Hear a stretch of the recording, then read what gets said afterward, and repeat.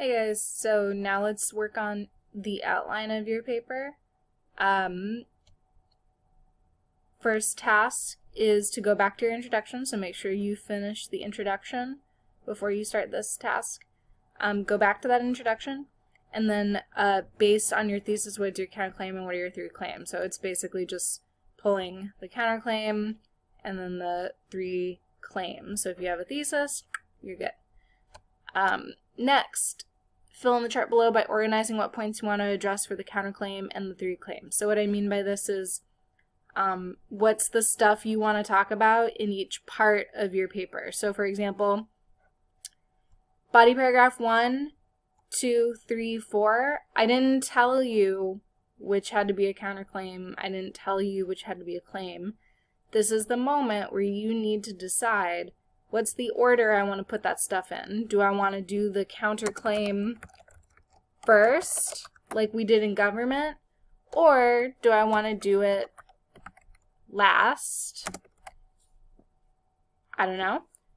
And this is also a moment where you will start to think, oh, maybe I want to be a little more sophisticated and have some of my counterclaim kind of going in and out of different parts of the paper.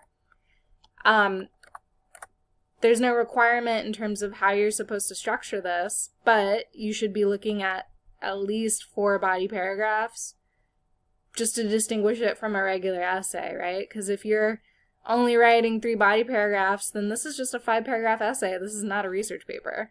So, if anything, you should have five, six, seven body paragraphs, but we're not going to get too crazy yet. We're just going to start with the basics. Um, so, my point is whichever maybe you want to do the counterclaim here, then maybe you want to do that first claim, and your claims should be in order, remember, from weakest to strongest, right? This is just for you to think about where they're going to go and what order. And then in these bullet points, you're just going to make a list of the stuff you want to talk about in each one, kind of just based off the top of your head. So in the introduction, we're going to talk about the background on the topic, and I'm going to make sure that thesis goes in there in the conclusion, I'm going to restate my claims. Maybe I'll do a summary. And then uh, I remembered from the TED Talks that it's effective to have a call for action at the end. This is an argument all about whether or not something should change, right? So might be a good moment to say like, well, this can be done, right? So what that looks like is if you go and click on the exemplar, um. Shelby has filled out an example, not just of the third step, but of all the steps. So you can see how she kind of filled in her bullet points with just some ideas, what she's going to use. She's sort of organized it a little bit so that way she knows what she wants to talk about. Okay? So it's like a list, just all the stuff you want to talk about. Um, it doesn't have to be like concrete or perfect, but it should be cohesive and coherent, right? Now, it is our best friend in the world, the traditional outline. Yay, they're back. Um, if you made a good list, it should be pretty easy to do this. Just remember, a traditional outline organizes with letters and Roman numerals and sometimes numbers and lowercase letters.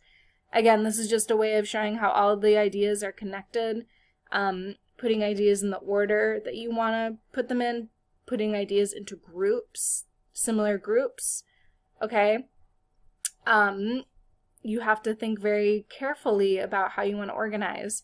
And again, if you need that exemplar, you just click it and you can scroll down to the third part of this tiered task and you can see Miss Shelby's. Um, notice she added some numbers. The computer will do it for you automatically. She's got some notes. She even put in where she's going to put some of her sources because she's starting to think about what evidence she wants to put in different parts.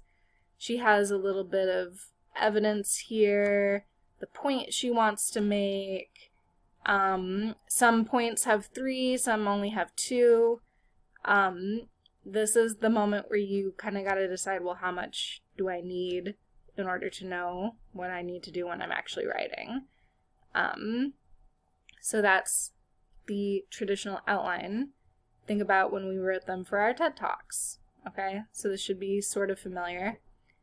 Um, next, you can briefly explain why you chose to organize the paper like this. Like, I'm talking about this point before I talk about this point because you need to know this before I do this, or whatever it is. Next, the self check, then the challenge, um, some culturally relevant coronavirus ideas here, and then the reflection. So basically, you're just doing an outline and starting to plan what you're going to do for each of those body paragraphs and your counterclaim. Okay? Let me know if you have questions. Bye.